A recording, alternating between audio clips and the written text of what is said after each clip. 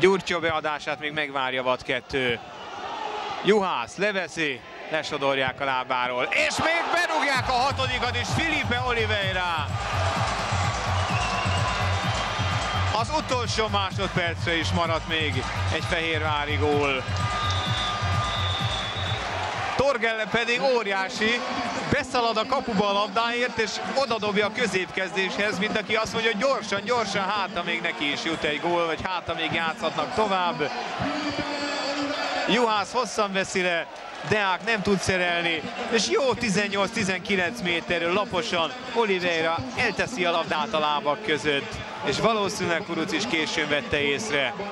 Hatosba szalad bele a Siófok, fél óra leforgása alatt szerezte hát ennyit.